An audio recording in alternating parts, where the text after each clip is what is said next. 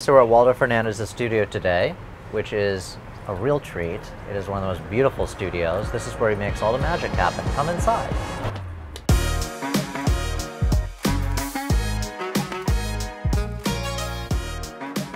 So why don't you take us on a little tour of this gem? Okay, well, as you can see, we have our beautiful knife edge installed here. This is like the longest um, one you've probably ever made, huh?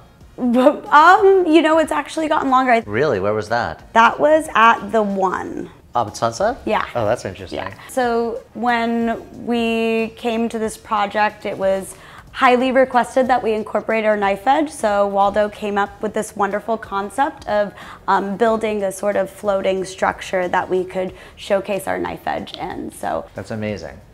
So obviously, so that's interesting. It's an architectural element. This doesn't actually serve as a beam or a purpose. It's just housing the light. Yeah, we were able to incorporate the knife edge into um, to kind of blend with the existing structures. Yeah, it's really incredible. I love that. Come, let me see a little bit more over here. Okay, so over here, oh, this yeah. is beautiful too. This knife edge right over the table, like perfectly. Yeah, so this is a great conference space that they have. Um, you can see again utilizing our knife edge and then they're accompanied by the Harmony recessed downlight. So you can see they use double adjustables, which gives you the option of highlighting the um, bookcase while also angling one of the lights down for general lighting.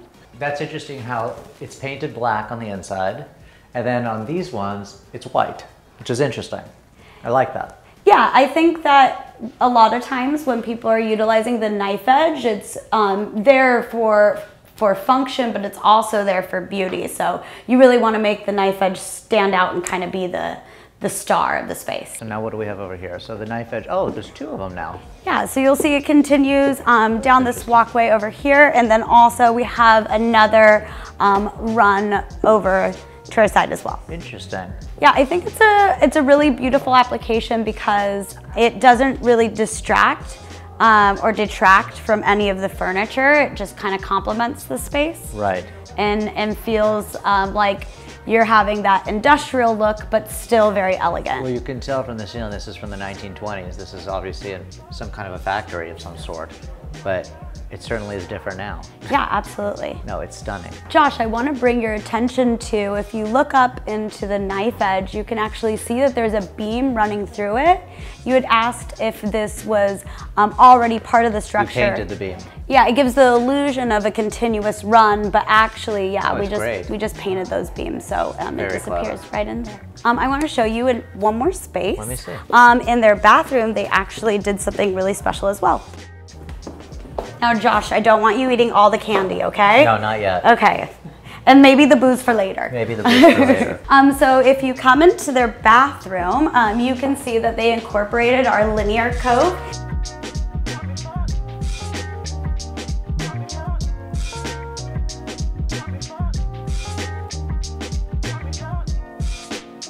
You got here? Oh, I remember this. Okay, yeah. So you remember us installing yeah. this in your home. So just as a reminder, um, because we use plaster for our LED tape channels, you're able to create a continuous run with no seams, no trims, and then most importantly, no lens. So you can actually reach right inside of the product so you can access your LED tape.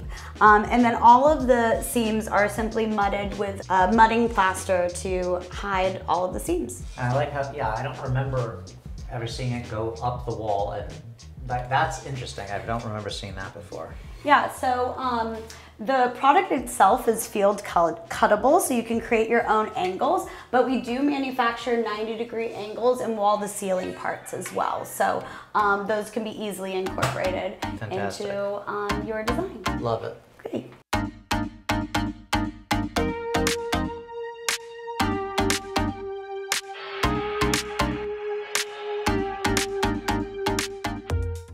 So Josh, what you see here is actually the end cap for our knife edge.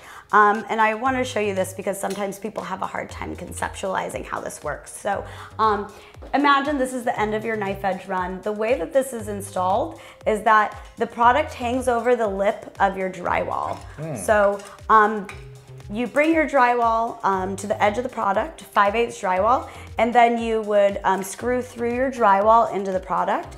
And then when you're finished, you're going to tape and mud over the edge of the product so it just leaves this opening. Got it. Um, and then these spot head arms are fully adjustable so they can be angled inside the cove.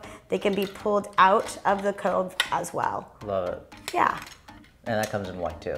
This comes in black and white, and then um, you can also get a custom color as well. Really? I like black and white because I think they hide the, the wires and components Or you better. could just, if you wanted a custom color, you could have it sprayed. yeah, exactly, exactly. We have a local guy that we use. That's interesting. Yeah.